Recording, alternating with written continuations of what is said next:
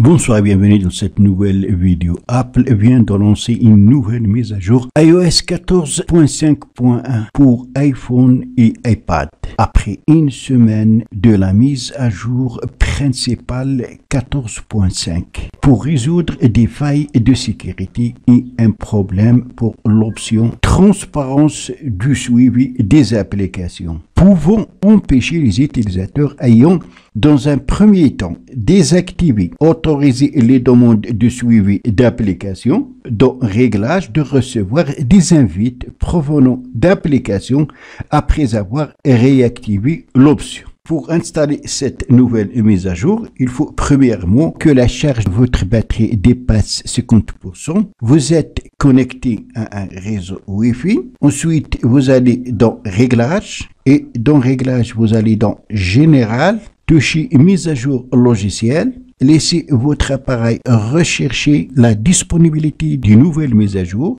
Voilà donc la nouvelle mise à jour iOS 14.5.1. Cette nouvelle mise à jour contient des correctifs de bugs, fournit d'importantes mises à jour de la sécurité et recommandée à tous les utilisateurs. Pour en savoir plus, plus, il suffit de toucher ici. Donc cette mise à jour est recommandée à tous les utilisateurs pour vous protéger contre ces failles de sécurité. Vous allez tout simplement toucher télécharger et installer entrez votre code de déverrouillage. La mise à jour sera téléchargée. Une fois téléchargée, vous allez être invité à l'installer. Il suffit de toucher installer. L'appareil va redémarrer et vous allez vous retrouver avec iOS 14.5.1.